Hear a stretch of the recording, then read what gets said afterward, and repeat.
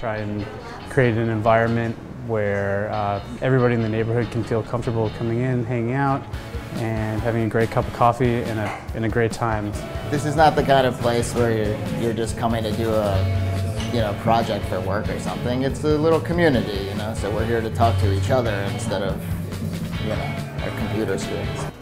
The, the moments that you see connections being made, the community forming, you're watching people respond in a positive way to something that you created. That is, that is the greatest thing.